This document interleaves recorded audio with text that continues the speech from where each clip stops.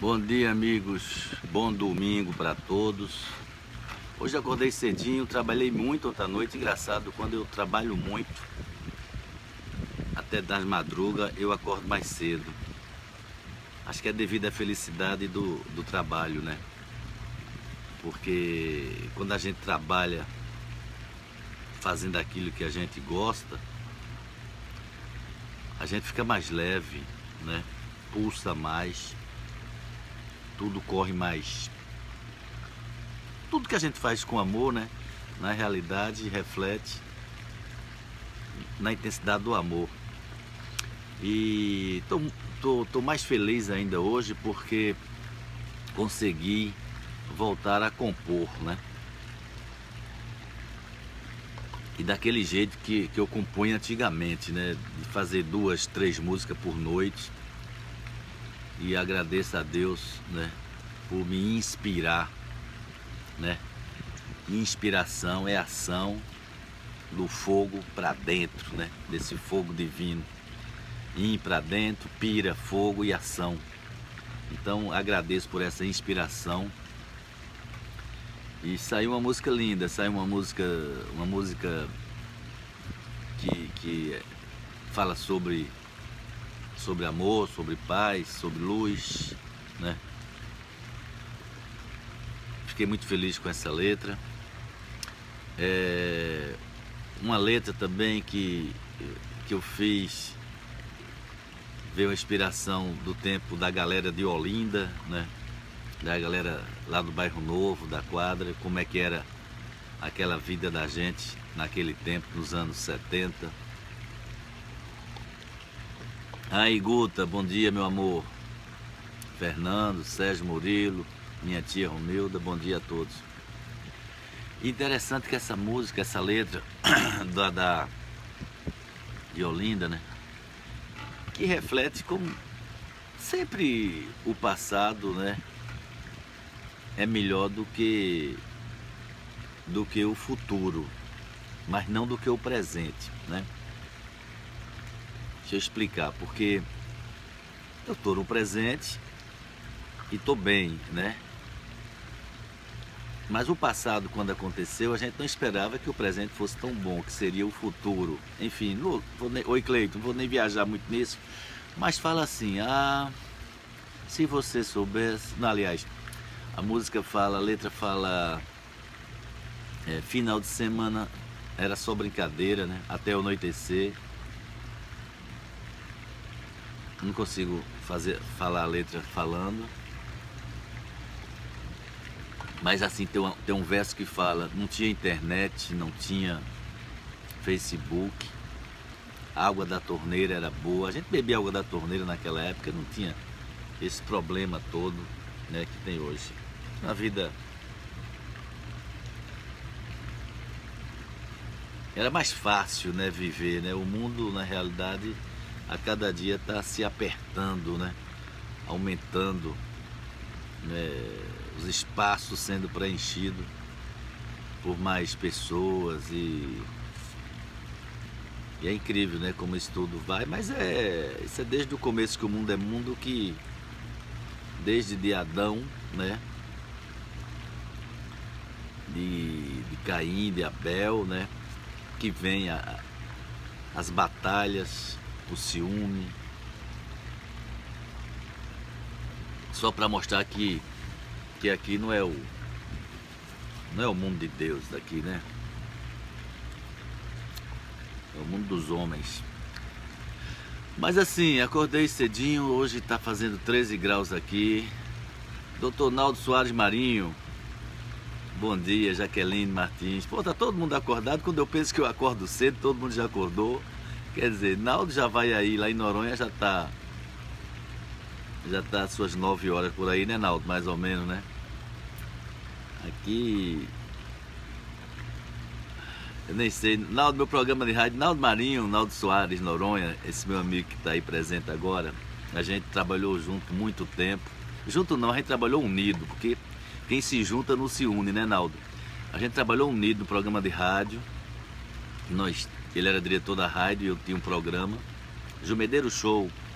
E essa vontade, Naldo, continua assim. Esse meu programa agora é, é desse jeito, sempre ao vivo, né? Não posso falar com as pessoas, mas posso ler o que, os, o que as pessoas escrevem. E a internet aí na ilha tá boa, né, Naldo? Se é que tu estás aí em Noronha, parece que o negócio está melhorando mesmo, né? Dá uma saudade, viu, Naldo, aí da ilha. Da ilha e, e de algumas pessoas, né? Você é uma delas, né? Carmélia, Eduardo, Brussolo. Dá uma saudade assim de, das conversas, dos papos, da, da... Ah, você tá em Recife, né? Então em Noronha são 11h45. Outro noronhense aí, Pelé. Ô oh, Pelé, bom dia. Pelé tá no Rio de Janeiro, Naldo tá em Recife, eu tô aqui nos Estados Unidos. Minha tia tá lá em Brasília. Isso é que é tecnologia, né? Isso é que é tecnologia. Pelé, viu o jogo do Brasil hoje, Brasil e Itália? Que jogaço, hein? Futebol de areia. Você viu, Naldo? Que jogaço, meu irmão. Que jogaço. Né? E aí ontem eu tava fazendo isso. Eu tô fazendo um, um, um gravando um CD novo. Eu não sei o nome ainda. Mas assim, tô fazendo uma coisa para mim é inédito, né? A primeira vez. Não sou o primeiro a fazer isso, já fizeram. Mas eu tô gravando aqui em São Paulo e em Natal, né? E aí, Gugu, bom dia. Flor de Noronha, bom dia. Ou seja, eu pego o violão e voz, guia, faço aqui. Minha prima Glaucio, bom dia, querida.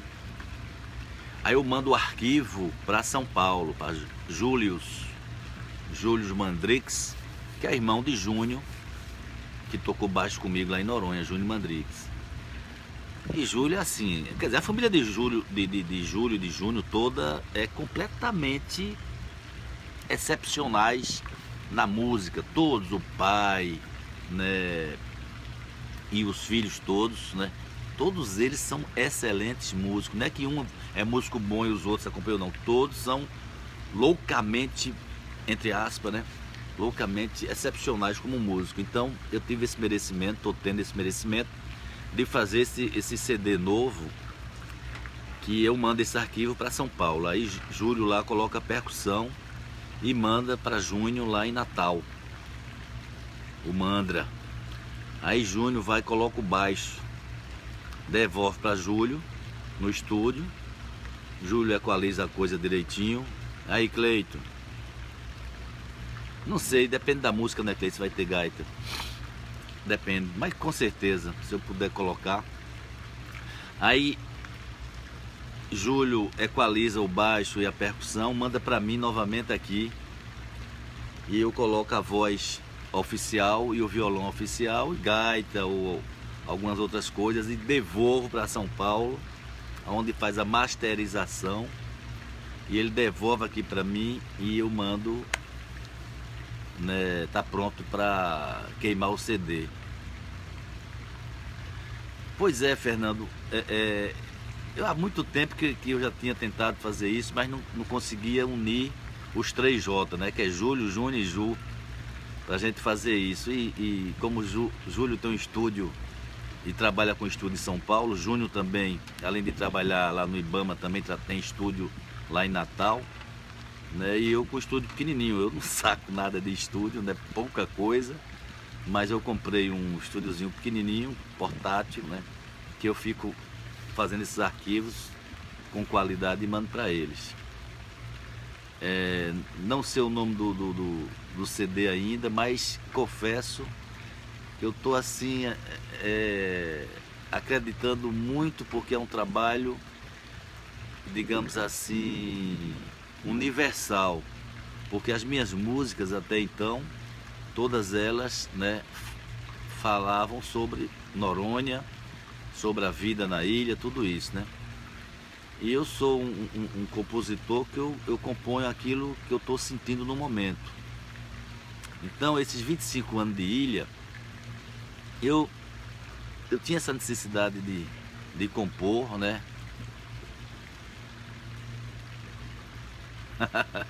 só não, só vou queimar o CD.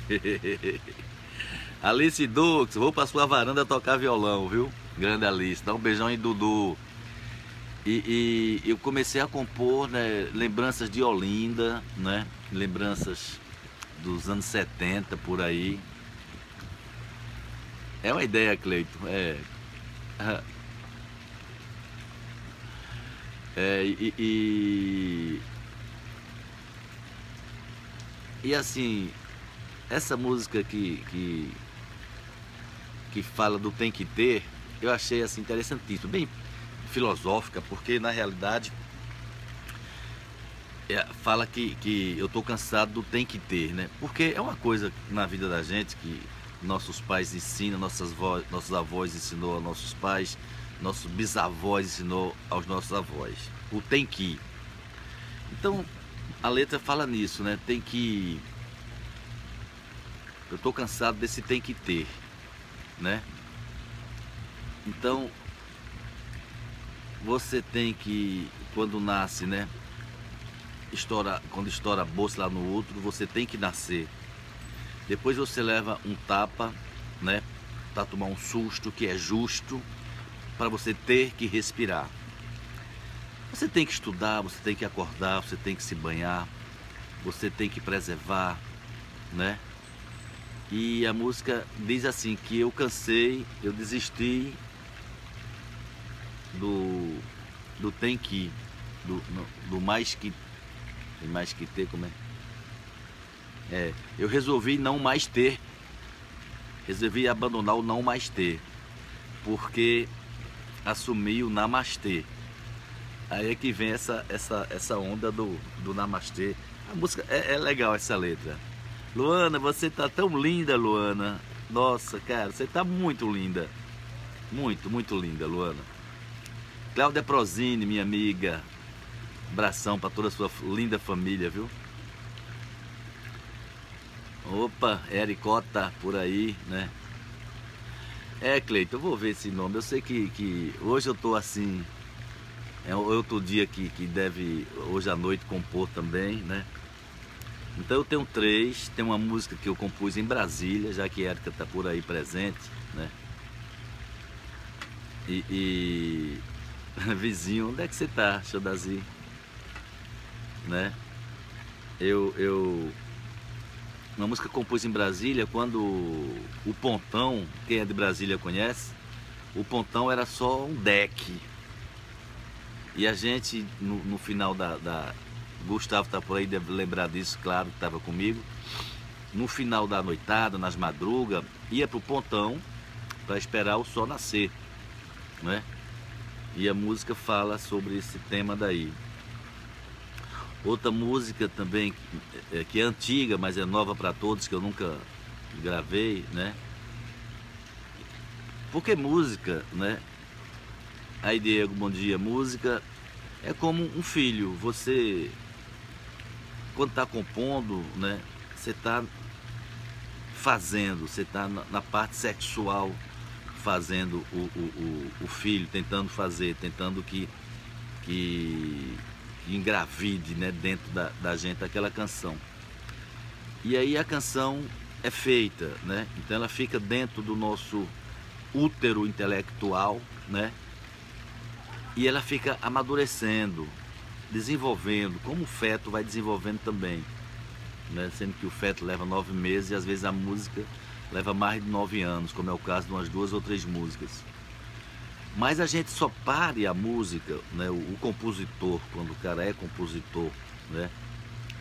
E, e, por sensibilidade, porque tem um compositor que faz a música e tem o que compõe. O que compõe a, a letra e a música vem numa inspiração. Nem a gente sabe realmente sobre o que vai ser. Isso é, uma, é compor. E fazer uma música não, você sabe o briefing da música, sabe mais ou menos o que vai colocar lá e começa a escrever, né?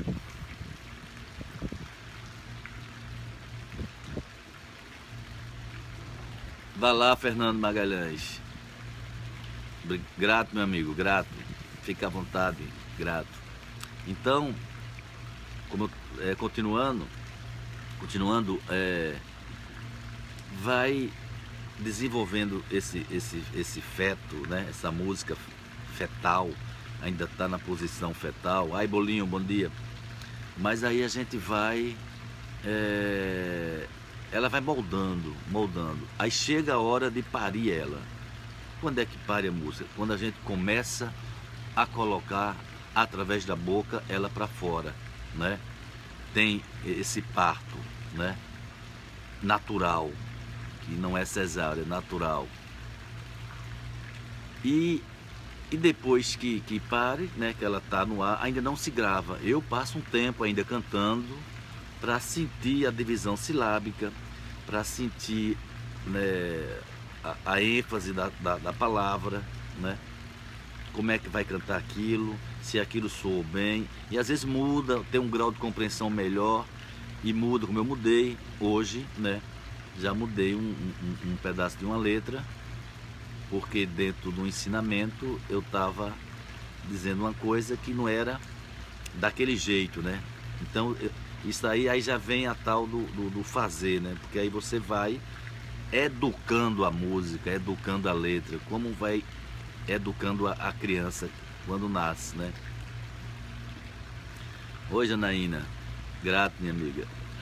E então ela vai se amoldando e aí chega na hora de batizá-la, né? Dá um nome, dá um nome a ela. E eu só dou o um nome de uma canção depois que não precisa colocar mais nenhuma palavra, né? E muitas vezes eu, é, é eu, eu canto ela várias vezes, canto para outras pessoas tal, até sentir que ela não precisa mais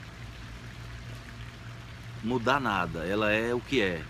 E aí a, a música virou uma canção, né? Bom dia, Zé Ricardo. Virou uma canção, né? E aí a gente grava porque a música é diferente de arte plástica, é diferente de um quadro, né?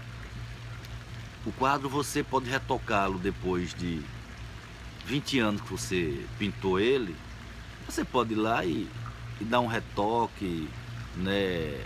Apagar alguma coisa aqui, editar aqui dali. Mas a música, depois que está gravada, né? Depois está gravada, ela não pode mais mexer. É a palavra está dita ali e ela é imortalizada, como o ser também é imortalizado, né? Então eu vou e a música fica, a letra fica, a geração vai e essa letra fica. Muito mais ainda hoje em dia com a tecnologia que nós temos para deixá-las aí. Então, tem vezes que depois de, por exemplo, eu fiz uma música que eu aprendi com essa depois de muito tempo que eu coloquei, é, é, datei a música na letra. Falei, o que é que você pensa, o que é que você fez, o que você espera para 2003. Quando eu fiz essa canção, é, eu vi que não podia datar as músicas, porque quando passou 2003, a música perdeu o sentido dessa frase. Aí eu, aí eu cantava assim ao vivo, 2006, depois 2016. E hoje o refrão eu canto, o que é que você pensa, o que é que você fez, o que vocês esperam da próxima vez mas ficou gravado 2003. 2003. Então é, é um erro datar uma, datar uma música. Essa daí, Bolinho, é um erro datar, né, colocar uma data num, num, num texto, num, como no livro às vezes. Hoje em dia, quando no livro, quando menciona o nome, o cara coloca de lado a data que a, que a pessoa nasceu. Para você ter noção de, de, de quando é a coisa, né? Enfim, Gostei desse, dessa conversa de hoje aí para sobre o que nós aprendemos sobre composição, né? Que eu nunca pensei isso, mas eu digo, eu vivo inspiração, né? Eu vivo inspiração. É, o que é que tu perguntou aqui, Bolinho? Ju, me passa depois seu e-mail, porque já montei uma ideia. Oh, legal. Meu, meu e-mail, Bolinho, é junoronha.icloud.com ok? junoronha.icloud.com, certo? É... E aí legal, legal, né? Já está esquentando aqui. Não sei quantos graus nós estamos, mas já começa a ir para 20, para coisa, né? As pernas tá friazinha, friazinha pra caramba. Mas assim, desejo a vocês que tiveram aqui. Ô Ângelo, meu irmão, que bom saber que você está me vendo aí agora e eu estou lhe vendo também através do pensamento. Leve meu abraço cordial a todos da União. É... Que comecei, eu comecei é, essa conversa de hoje dizendo que eu acordei muito feliz, acordei cedo, né? Quando eu não faço nada e vou dormir cedo ou tarde, eu geralmente durmo tarde, mas eu acordo tarde, né? Porque o corpo não produziu. Ah, galera, é tão importante produzir, né? É como uma máquina, né? A gente tem uma máquina, a máquina mais perfeita do universo é o ser, né? E, e tem que estar tá produzindo sempre, porque senão enferruja, né? Enferruja algumas engrenagens e a coisa fica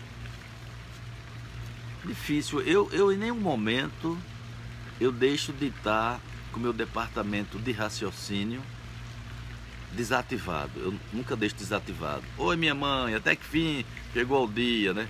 Tô vendo a senhora, I love you, eu te amo.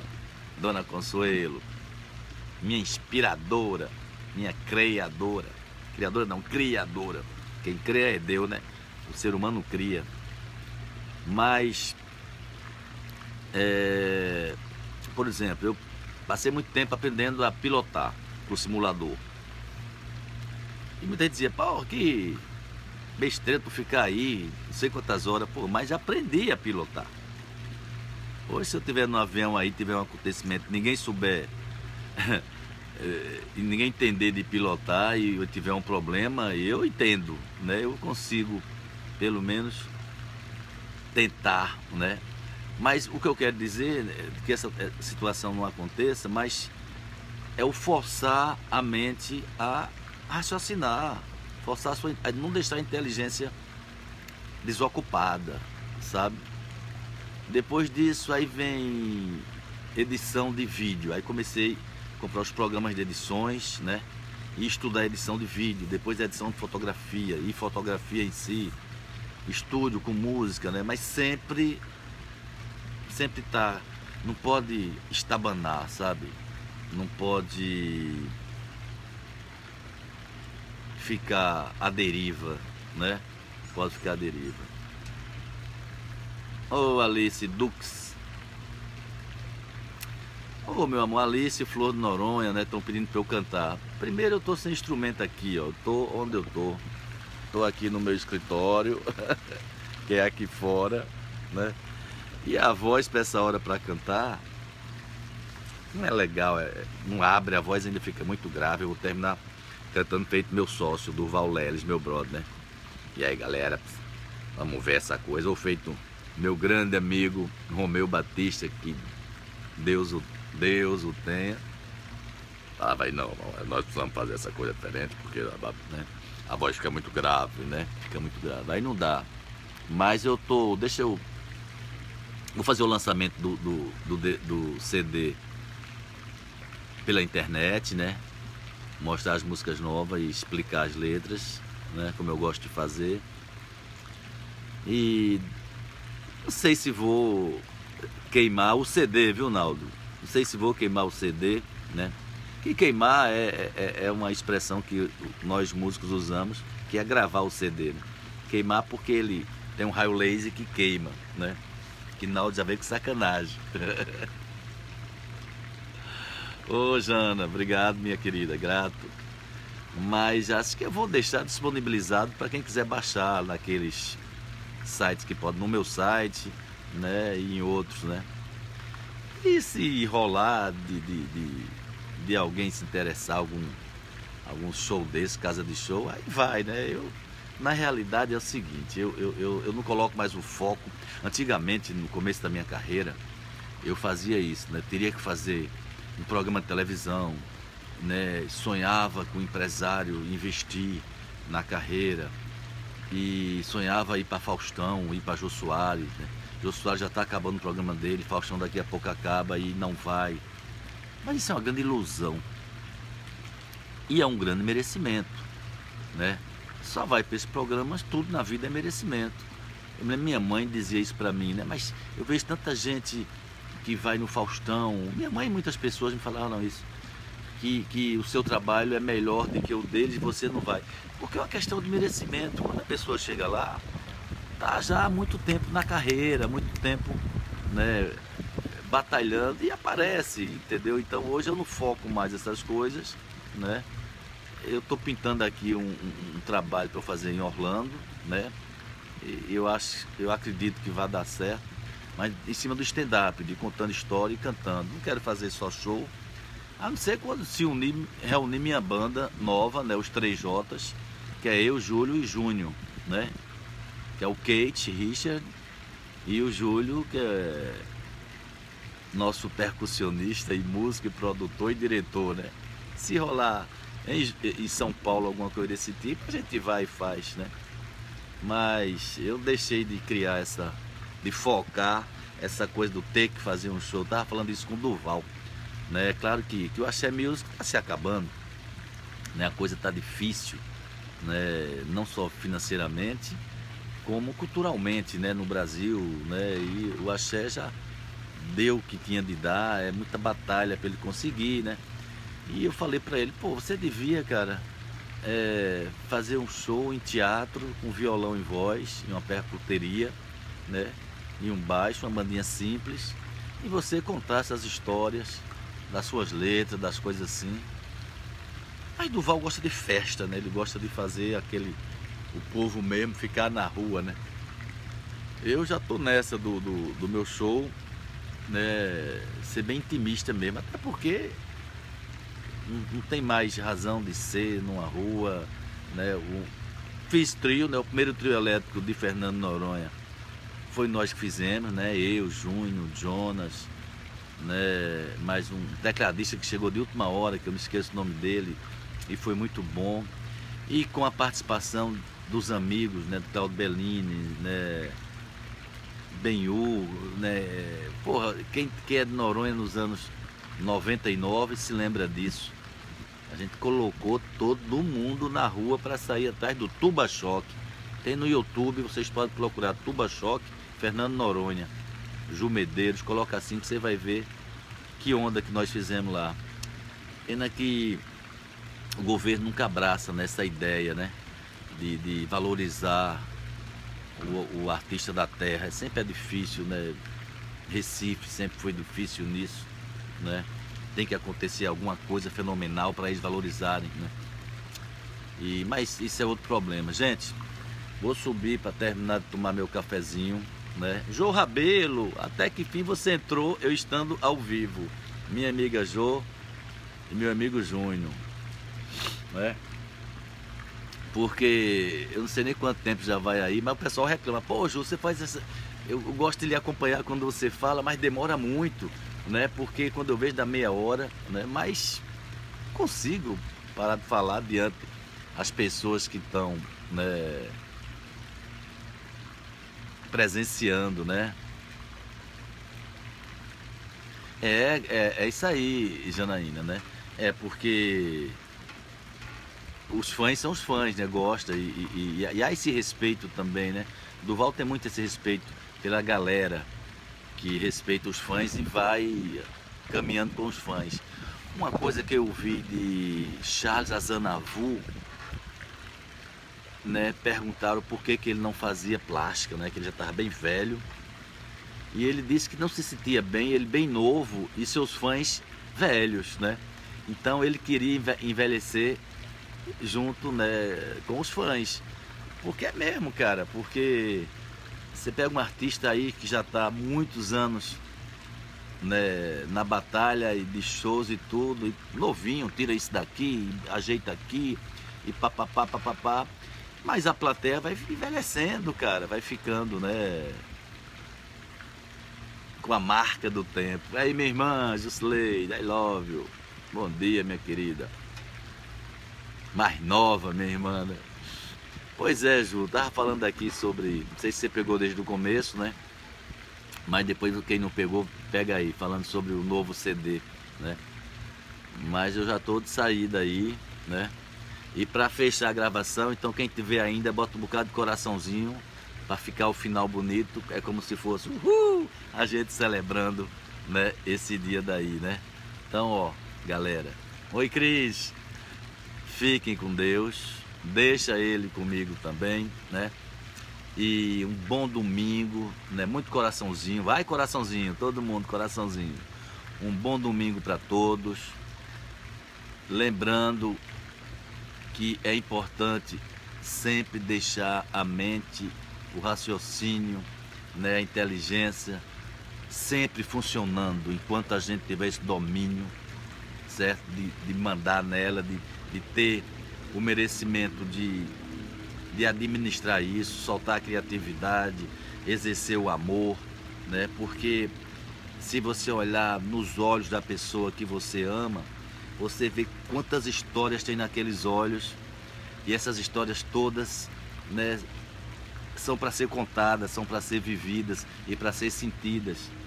Então, nunca deixe o beijo para amanhã. Nunca deixe o eu te amo para amanhã. Por isso eu amo vocês. Ó, bom domingo e depois a gente volta. Tchau. Beijo para todos.